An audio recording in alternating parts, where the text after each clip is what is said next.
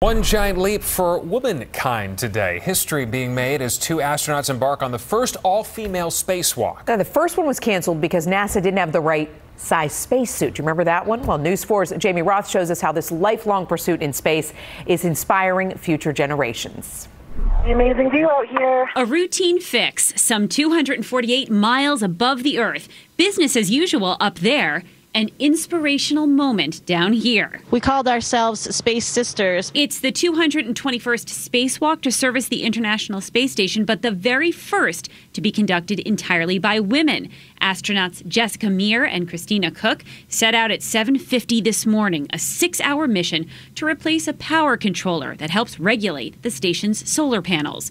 NASA sent the astronauts who could get the job done and then realized they'd made history. For our daughters or our nieces or those or even our nephews or our sons to look up and see women out there at the controls on something where we hadn't seen them in that kind of representation before. The historic event drawing tweets from terra firma calling Meir and Koch the heroes up above. Teachers messaging, our first graders are so excited to watch the first all female spacewalk. Koch and Meir phoned home during the mission for some presidential kudos. You're both doing a fantastic job, and everybody's doing a fantastic job. According to NASA, the all women spacewalk wasn't planned, but it was inevitable.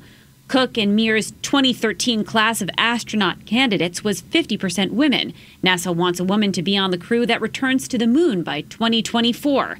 Today's walk, another giant step forward for womankind. Billy Taylor, almost six years old, today she's exploring space at the Hayden Planetarium. One day she may explore space where these women are doing just that. Well, I, where we want to go to when I grow up. We could have never imagined that our childhood dream would come true and the two of us would be here together. Jamie Roth, News 4, New York.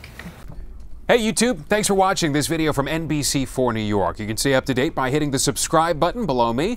Also on the left, you can see some of our latest updates, investigations, and features. We'll see you next time.